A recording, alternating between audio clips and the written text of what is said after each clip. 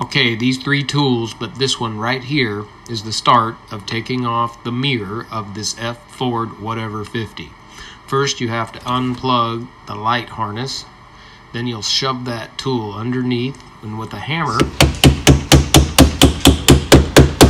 it should just slide up and then you could pull it off.